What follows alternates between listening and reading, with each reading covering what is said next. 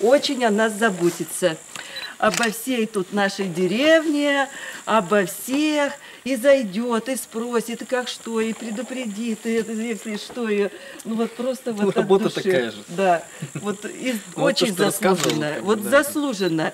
Я так даже не сомневалась, что он будет первым в России.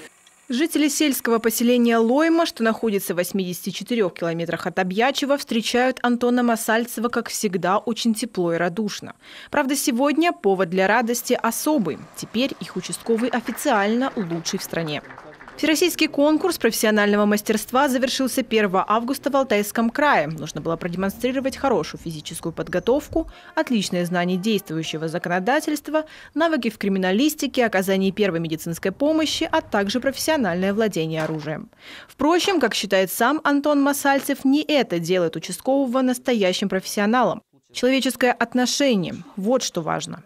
Ну и больше это вид профилактики, это может быть не административное воздействие, да, не именно штраф написать, а просто с человеком разговаривать, объяснять, походить постоянно к нему, разговаривать именно тоже опять же доверительно, не то что с той стороны, что я там тебе сейчас покажу, не дай бог, а именно просто как человеком с обычным разговариваешь, когда люди начинают понимать.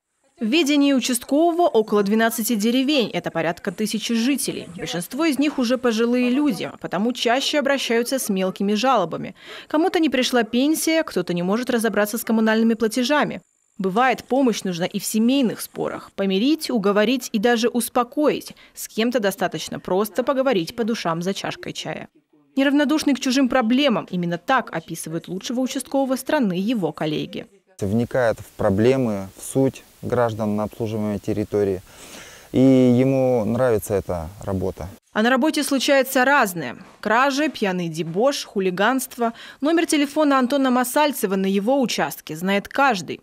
У жителей нет сомнений, что если позвонить ему в любое время суток, он обязательно ответит, выслушает и придет на помощь. Со сложной миссией быть на страже порядка 24 на 7 он справляется на все 100%.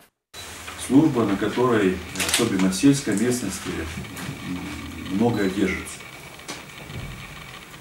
На сегодняшний день сельский участковый очень значимое должностное лицо, который решает самый большой спектр задач, у которого самый большой функционал из всех сотрудников.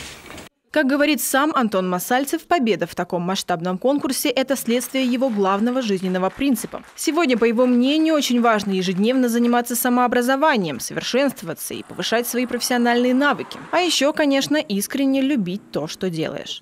Ксения Лосева, телеканал Юрган, Прилузский район.